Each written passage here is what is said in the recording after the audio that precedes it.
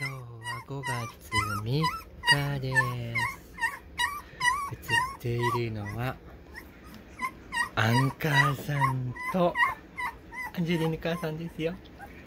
アンジェリーヌちゃんアンジェリーヌ母さんの赤ちゃんたちで